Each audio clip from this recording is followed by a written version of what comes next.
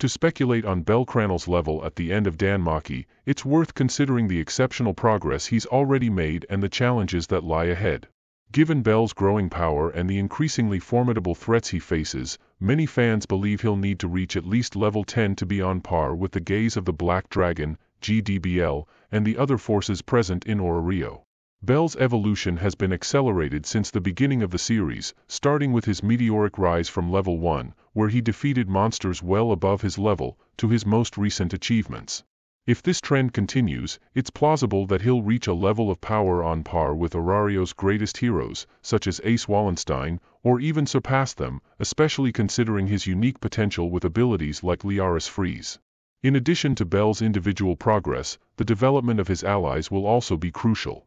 For example, Welf Crozzo, who has already demonstrated his ability to create powerful magical weapons, could become even more crucial. In Season 4, we saw Welf's potential to create weapons that are not only extremely effective, but can also be used in innovative ways, such as a magical sword with a long handle that multiple people could wield simultaneously. If Welf can create a sword that exploits Dragon's weaknesses, such as ice or other elements, combined with Haruhime's ability to temporarily increase everyone's level, it could be a decisive factor in defeating the OEBD.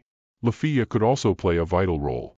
Let's say she finds an elf with attack boosting magic and manages to copy that ability, further increasing the party's attack power. Combine this with Riveria's buffs, Hythe's healing, Welf's enhanced weapons, and Bell's increased charm, the party could become virtually unstoppable. Bell's ability to activate the Argonaut's power at critical moments could be the final element in securing victory over the OEBD or other formidable foes. Another important point to consider is the growth of the Xenos, as we saw in Season 4 with Moss Huge, who was able to rapidly increase in power by consuming magical stones.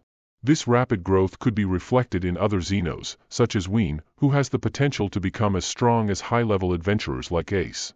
The development of the Xenos could provide Bell with the allies he needs to face the final challenges of the story. As for Asterius, he has already proven himself to be a worthy rival for Bell, and his continued growth suggests that he may be one of the greatest threats Bell will face.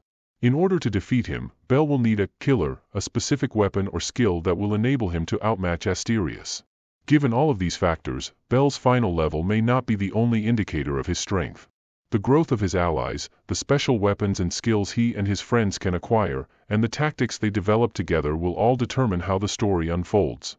Regardless of what their final level is, Bell and his allies will have to combine all their strengths to overcome the challenges that await them and defeat enemies as powerful as the OEBD.